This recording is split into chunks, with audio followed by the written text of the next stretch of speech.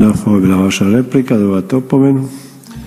E, Da, ovo je bila vaša replika, dobivate opomenu. E, Da, ovo je bila vaša replika, dobivate opomenu.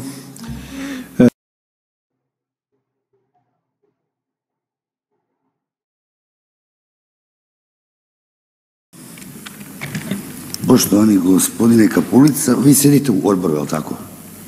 Pa sjedim, ne, ne, ne radimo to stojeći. Ok.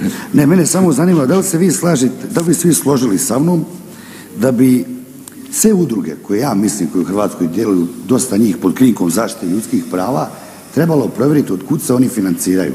Čim novce se financiraju i koliko lobiraju da njihovi ljudi budu e, filtrirani u, u, u pojedine e, organizacije gdje mogu djelovati, vršiti pritisak na institucije kao što su sigurnosna obavještajna agencija Republike Hrvatske. Ja mislim da su te e, razno razne udruge pod, koje djeluju pod krinkom zaštite ljudskih prava financirani upravo stranim kapitalom i mislim da je to nešto što bi trebalo vrlo dobro provjeriti, to nam se ne bi smjelo provlačiti na ovakav način kao što je se provlačilo do sad po našim zakonima u, u Republici Hrvatskoj. Hvala vam lijepo. Evo, hvala na pitanju. A uvaženi kolega, gledajte, ako je neko predstavlja ugrozu, ugrozu za nacionalnu sigurnost Republike Hrvatske, onda je sasvim svejedno da se financira inozemnim ili domaćim kapitalom. Danas je e, taj pojam inozemnog i domaćeg vrlo relativan, e, a što se tiče e, udruga koje se financiraju, ne bi išao onom linijom Putina da da ih proglasim nepoželjnim organizacijama, svatko onaj za kojeg postoji indicija da djeluje protiv sigurnosti, protiv sigurnosnih e, e, ciljeva Republike Hrvatske, vjerojatno, ali to nije stvar vijeća za građanski nadzor, vjerojatno postoje mehanizmi i postoje službe koje će se time baviti i koje će takve stvari provjeriti. Znači, država se ima pravo i dužnost braniti od takvih ugroza i ona će to napraviti kad smatra da je potrebno. Sljedeća replika, poštovana Sandra Benčić. Pa zahvaljujem se. Pa evo kolega, čuli ste gospodina Spajića, ja bi se apsolutno složila jer primjerice postoje one udruge koje objavljuju svoje financijske izvještaje pa se transparentno vidi iz kojih se izvora financiraju i one koje ne.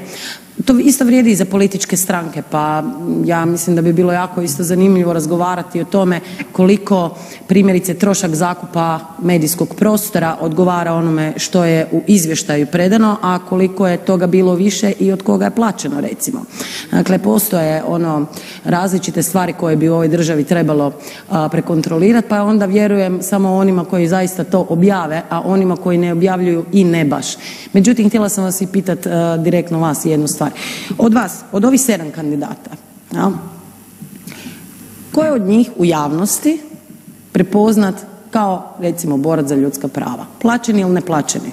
Kakav god. Ko je od njih prepoznat kao zaštitnik ljudskih prava? Hvala. Pa prepoznati su kolegice vjerojatno svi koji imaju dobar PR i tako se predstavljaju i takav svoj angažman ovaj, potrude se da bude praćen u medijima. E, a što se tiče transparentnosti, pretpostavljam da ste mislili valjda na političke stranke i političke kampanje, pa svaka politička stranka objavljuje svoje izvješ, izvješća, svaka politička stranka ima e, kontrolu državne revizije i dobiva mišljenje, koliko ja znam, stranka koja ja pripadam uh, unazad više godina dobiva bezuvjetna mišljenja bez jedne primjedbe. E, naravno, evo pozivam sve političke stranke da postupaju slično i da takva mišljenja državne revizije oni dobivaju. Dobro, hvala. A A sad, Kapulica, vi ste gotovi? Povreda poslovnika, poštovani Daniel Spajić. Poštovani članak 238, mi direktno smo opet e, prozvani, ovaj, pa ću ja reći, ja se slažem samo gospođo Benčić da sve treba biti transparentno i može nas se sve zatražiti. Isto tako bi ja htio naglasiti da bi trebali i vi svi koji ste bili u udrugama, sad imate stranku, a dobijate novac na udruge pa izdvajate za PR, pa da vidimo koliko ste tog PR-a koristili za e, vašu stranku, koliko ste koristili za te udruge. Isto bi trebali podnijeti izvješće pa da vidimo ovaj, ko kosi, a ko vodu nosi. Hvala. Da, ovo je bila vaša replika, dobivate opomenu. E, s smo iscrpili raspravu, zaključujem raspravu, glasovat ćemo kad se steknu uvjeti. Slijedi izvješće Mandatno-imunitetnog povjerenstva o zahtjevu za davanje odobrenja za vođenje kaznenog postupka protiv Borisa Miloševića, zastupnika u Hrvatskom saboru. Molim predsjednika Mandatno-imunitetnog povjerenstva gospodina Roberta Jankovića da podnese izvješće. Dragi gledatelji, hvaljen Isus, Bog Isus Krist, put, istini život, evo, novi isječak Sabora, ovo je arhiva, naravno, 2022. godina, vidite, dol na zemlji sve se vrti u krug, sve isto, znate. Nema nikakvih promjena, jedino je Bog savršen, vidite, Bog i učenici oko Boga i Bog govori što je prava istina, Bog je jedina istina, jedina pravda, jedina nada, jedini spas je Bog, jedino je Bog savršen, iznad svega, vječan, stvoritelj.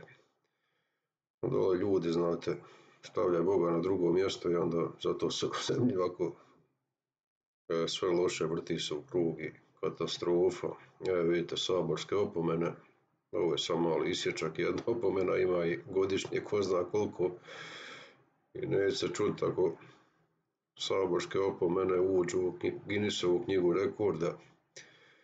Vrlo moguće, znate. I šta je vam fenomen, evo, znači, tema videa s opomene, što saborski zastupnici, svi koji se ono vade na traže ili povreda poslovnika člana koji je 238 i onda znaju unaprijed, jednostavno znaju unaprijed da će dobiti opomenu i oni opet repliciraju i dobiju opomenu, nešto nevjerovatno.